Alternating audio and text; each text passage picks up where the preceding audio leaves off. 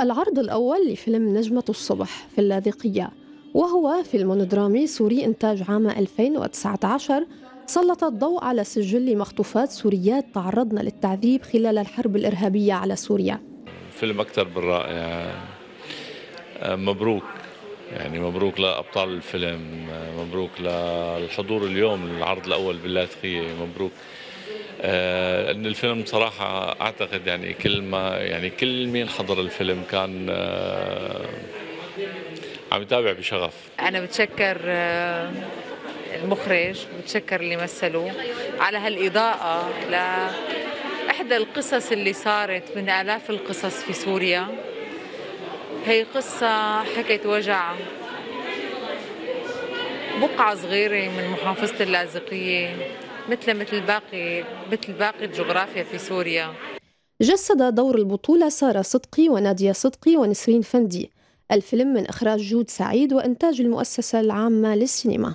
حكى عن عن الأسرة كيف صارت عن تفجيرات عن أعراس في حالة وفاة لأخت من إخوات اثنين توأم وهيك هو متصور بداياتنا بصلنفة تصور جزء منه وبيرامو الجزء الثاني. فأجينا من هنيك لنحضر هيك عمل رائع. تصور بمنطقتنا نحن ناطرينه من أكثر من سنة ونص. هلأ اليوم إجينا نتابعه كثير انبسطنا فيه والله يعطيهم ألف عافية. تجارب من قلب المعاناة يعني حقيقة نحن ما نسينا لنحيي الذاكرة. بس نحن هذا الإحياء اللي عم بيكون دايما عبر الدراما السورية هو كتير كتير شيء كتير مهم لذاكرة الأجيال اللي جاية فيلم كتير كويس. يعني عم بيجسد الأزمة اللي نحن عشناها فيه مشاهد معبرة كتير. آه، نحن ما عاد نعرف يعني صار فينا كمان مزيج من الحزن ومزيج من الضحك. فيه مشاهد مضحكة بتخليك تنسى شوي الهم اللي أنت فيه. فيه مشاهد محزنة. واقع وعايشين ولهيك انقهرنا يعني ما شيء غريب بس انه ذكرنا اسم مأساة قديمة. فعلا جسد هالأزمة بجدارة ونحن حزانة لهالأزمة صارت ببلدنا.